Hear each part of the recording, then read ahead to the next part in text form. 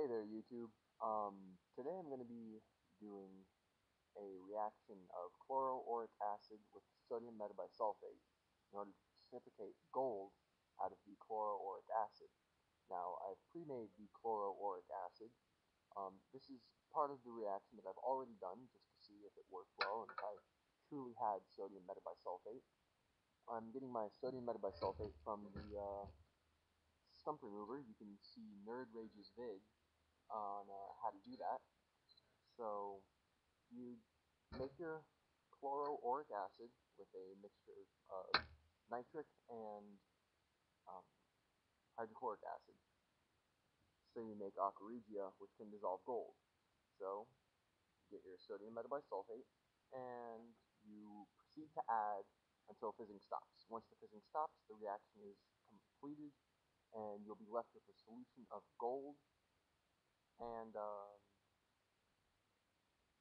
yeah, that's pretty much it. Um, the reaction does create gases, so I will be wearing this gas mask. Um, I am outside, so it is also a little bit safer. Um, for the duration of the rest of the video, I probably will not be doing much talking as it is very hard to do in this uh, mask. So, here we go.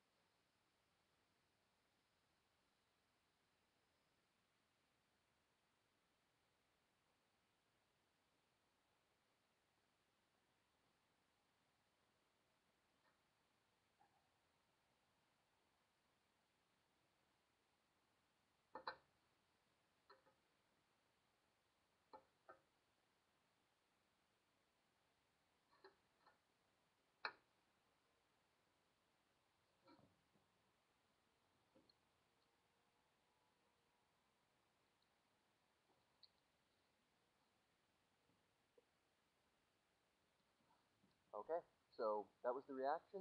I'm going to let the gold uh, precipitate out now, and um, I didn't do the rest of this chloroauric acid because I knew that that would take uh, just too long for a YouTube video. Um, subscribe, rate, and comment. If you have any questions, uh, feel free to ask. Um, I'm pretty much on my computer all the time, so thanks for watching.